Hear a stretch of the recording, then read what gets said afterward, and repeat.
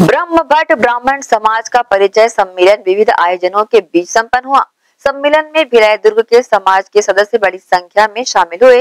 यहाँ समाज की विभूतियों का सम्मान आए हुए अतिथियों द्वारा किया गया।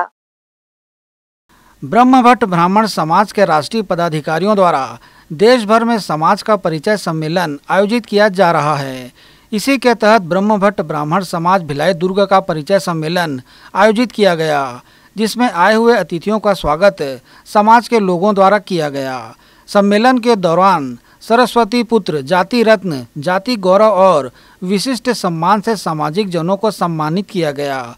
कार्यक्रम में ब्रह्म भट्ट समाज की पत्रिका के प्रकाशन व समाज में विशिष्ट योगदान देने साहित्यकारों लेखकों और सहयोगियों को सम्मानित किया गया। आयोजन की जानकारी ब्रह्म भट्ट समाज युवा प्रकोष्ठ के प्रांताध्यक्ष संजय कुमार शर्मा ने दी।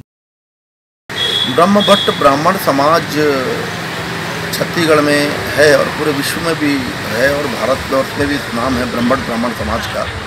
तो उसकी एक पत्रिका अक्षय कुमार राय जी निकालते हैं भोपाल से और उसका सत्ताईसवां वर्ष में 26 साल हो गए हैं। तो सत्ताईसवें वर्ष में प्रवेश कर गई है।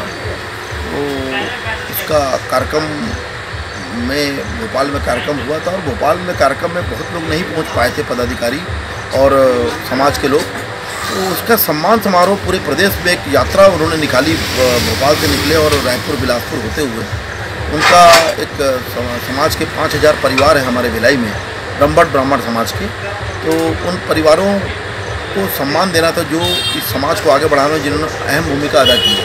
उनका कार्यक्रम हुआ। उस कार्यक्रम में प्रशस्ति पत्र और मोमेंटो और श्रीफल साल और दुपट्टे से उनका स्वागत किया गया, जिसमें तमाम हमारे जो है, समाज के बंधु बांधव वरिष्ठ जन, महिलाएँ, स्त्री, पुरुष, बच्चे, सभी लोग थे और समाज को उत्थान किस प्रकार से सदस्यों की संख्या बढ़ाई जाए और कौन कौन से राष्ट्रीयकृत काम किए जाएँ जिससे साफ़ सफ़ाई से लेकर के और भी कई चीज़ें, जागरूकता के कई चर्चा हुई, कई मुद्दों को लेकर चर्चाएँ हुई और अक्षय कुमार राय जी, जो ब्रह्म सत्य पत्रिका के संपादक हैं और परम आदरणीय आभा भट्ट जी, जो महिला विंग की राष्ट्रीय अध्यक्षा है और अनिल भट्ट जी, जो भिलाई इस्पात संयंत्र में अधिशासी निदेशक ईडी के पद पे हैं और वो रिटायर्ड होने वाले अक्टूबर में, वो भी वो भी आए थे और एक कार्यक्रम हुआ। उनका भी सम्मान किया गया और तमाम हमारे मनु शर्मा जी अमरेंद्र नाथ शर्मा और आपके बहुत सारे हमारे जो महिला और पुरुष और हमारे जो बच्चे हैं, वो सब इस कार्यक्रम में शरीक हुए। और ये ब्रह्म सत्य पत्रिका में पूरे समाज के जागरूकता के विषय में बताया जाता है। शादी ब्याह के लिए एक कालम रहता है।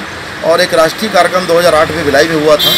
2016 में हुआ था। उसके बाद एक राष्ट्रीय कार्यक्रम करने की सहमति बनी है कि भिलाई दुर्ग में आने वाले वर्षों में एक राष्ट्रीय कार्यक्रम बृहद स्तर पर किया जाए।